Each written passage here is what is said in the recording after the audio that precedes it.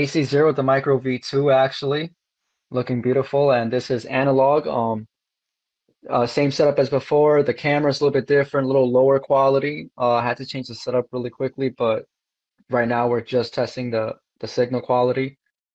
This is a heavy Wi-Fi area, and they're both on R1. We're flying away from myself, maybe I believe it's 650 feet to the back of this school here. Again, this is a brick school, and we're gonna do kind of a torture test here. Gonna go around the school fully, block the signal, turn the quad around, and see how both uh, systems handle the image. This should be interesting. Coming around here. Okay, they're both maintaining pretty well up to up Ooh, until this yeah. corner here. Yeah, And I- yeah, Yeah, I know which one I'd rather fly. and I'll uh, just play this in slow motion here. yeah, play this in slow motion. And may I add, actually, this is with the TBS uh, at max power, so this isn't the 800 milliwatt, Right, this is 1.5 watt 1.5. analog. And now we're Yeah. flying even further away. Um, just seeing how both of them handle the signal here. There's some multipathing, some block signals. And they both get bad over here, but this is where things will get really interesting here too. You're gonna see exactly how well HDZero maintains an image here, going over these bushes. Interesting. Look at the difference there. Uh, that again, I went through that completely blind on analog. That was just memory. Yep. Yeah, and it, it just goes to black and white so quickly on analog. Yep. And uh, as an example of just how bad the signal is here, I had to turn around here not because uh, either VTX was at the max range, because past that yellow sign right there, uh, Tracer will fail safe. So I can just go around it a little bit, and that's about it. If I go any further, Trace- Tracer will fail safe. So I had to turn around. Coming here and Ooh, man, that's nasty. completely oh, wow. lost it. Oh yes, crashed, and that was done for that. Now there's another section here in this flight that was a little bit difficult, so I did fly the analog quad back again, and I'm flying just straight to this next location where we're gonna see how they handle going off into one of the streets. Having multi, there's a total of six houses blocking the signal when I do this. Okay, so we're gonna turn around here and both quads are gonna go around this corner and we're going in. Very similar results. Yup, you lose that color really fast. You wouldn't fly either quad out here, but I actually felt pretty confident with the HDZero here. You see how much mind analog is jumping up and down?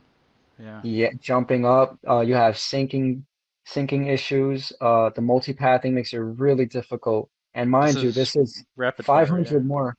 Yeah, rapid fire with 500 more milliwatts. And I would actually say the 500 milliwatts sometimes made it worse than good. Oh yeah, because of multipathing from high Yeah. output. Yep. Yeah, So very that. interesting. So I'm standing right there in, in Okay. this nook. Um, doing my best to kind of orient the patch so that it was the same for both. So like with analog, uh, the patch is kind of off to the left a little bit to my face, so I kind of angled it that way. And I, I always do a good job of uh, making sure I have my head level and not Okay. looking straight at the ground like a lot of people do, because that does really reduce the effectiveness of the patch antennas. Oh yes, especially with HDZero having four antennas that it's mixing. Yeah. I've noticed that it's a little bit more sensitive when you have an imbalance in the signal. So it's playing through here. Yeah, got R8 on the Freestyle VTX and uh, R7 on the analog, uh, running independently, not at the same time. Okay, good. And then the other Wow. tests I did, I did them at the same time, where I put uh, the Freestyle on R1 and then Okay, wow. analog R8. I did measure the analog with uh, the power meter, and it was showing actually it was strongest on the R8 channel. Wow, really? Yeah, it depends on the on the VTX. Yeah, I would guess.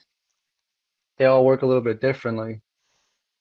Yeah, but you can see it's Even kind of so- a it's kind of a horror show, and you lose all the color and To be honest, even with, I know it's supposed to be like what, six, maybe like 650 on average milliwatts on channel eight for the HD zero. And if you look at it, what's crazy is, in my opinion, it took the win there.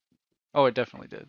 Yeah. Even at the very limits, the only thing I would say it's gonna come down to what the pilot prefers on, you know, that that black and white, very kind of squinty image. You gotta squint at it to see it, or if you can like tolerate the digital pixels, which in my opinion, I can I can tolerate the HD zero breakup. I think it's something you get used to over time.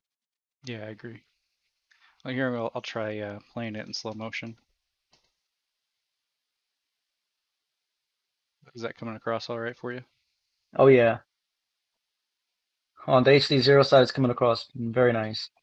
Yeah, and if you slow it down even more, you can see, you can see how HDZero has more like frames it's actually displaying, and the analog is I don't hmm know. I'm using the nice 60 frame per second DVR on the Sky Zone, Oh, okay. so oh, I think you are too, though. No, mine's is the is the version one for the Sky 04X. Yeah, so I've got the V2, like the best analog DVR you can get, I think.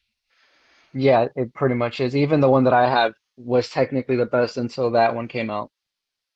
Yeah, but the yeah analog is interesting. The important the important thing here is the average frame. Because you can have one one frame that can be horrible, you know what I mean? hmm When you're pausing frame by frame, but when you're looking at a series of say 40, 50, 60 frames, it- it's like most of the frames on HDZero are crystal clear and analog is just this constant wave of just flashes and color shifts. Yeah, The image even moves sometimes. Right. Yep. And sometimes you get a sync loss and it starts rolling, and then you're basically screwed at that point.